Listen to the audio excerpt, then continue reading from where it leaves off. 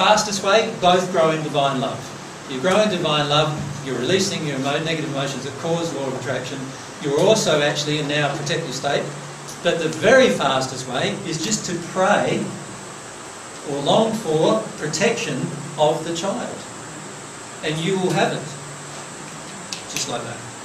God answers all of those things immediately. Um, who's read Robert James Lee's book? I think it's The Life of Elysium.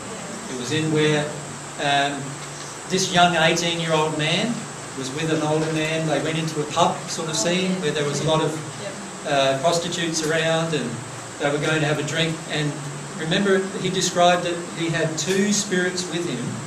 This 18 year old son had two spirits with him who were protecting him because of the prayers of his mother. So it's really easy to protect the children. Sorry. Actually, could, you know, if parents aren't in a situation where they would protect a child like that, and Yeah. somebody else knows about that child, and somebody else prays Yes, for that child, yes. that's wrong. That's the same, same effect. It would- the child will be protected even more than it's currently being protected as a result of that. What about white light meditations, things like that? Is there any sort of And anything metaphysical is not happening at the soul level.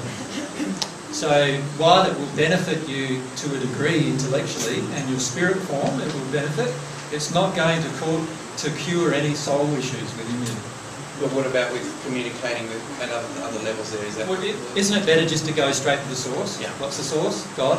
Just go straight to God and say, I need some help here, and I need some help. Like it's really simple.